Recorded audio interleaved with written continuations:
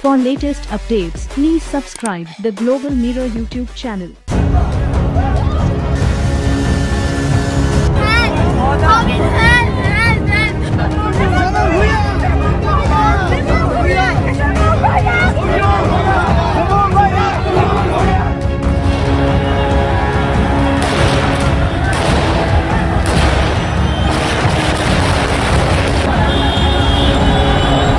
German public broadcaster Deutsche Welle says the Taliban shot and killed a relative of one of their reporters in Afghanistan and severely injured a second family member. DW said in a statement on Thursday that the Taliban fighters were illegally conducting a door-to-door search to try and find the journalist who now works in Germany. I said that other family members managed to escape and are now on the run. Deutsche Welle did not reveal the identity of the journalist and did not give further details on the killed and injured family members or say where and when exactly in Afghanistan the killing took place. DW Director General Peter Limbourg sharply condemned the killing and said the killing of a close relative of one of our editors by the Taliban yesterday is inconceivably tragic and testifies to the acute danger in which all our employees and their families in Afghanistan find themselves. Peter Limbourg further said it is evident that the Taliban are already carrying out organized searches for journalists both in Kabul in the provinces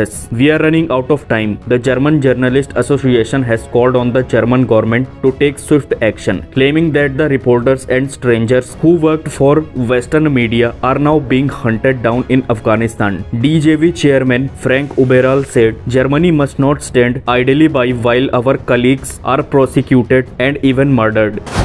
Journalists under attack in Afghanistan. Deutsche Welle has alleged that the Taliban have raided the home of at least three of its journalists. This comes after the Islamist militant movement in a press conference on Tuesday said that it would allow free media and jobs for women banned when it was last in power from 1996 to 2001.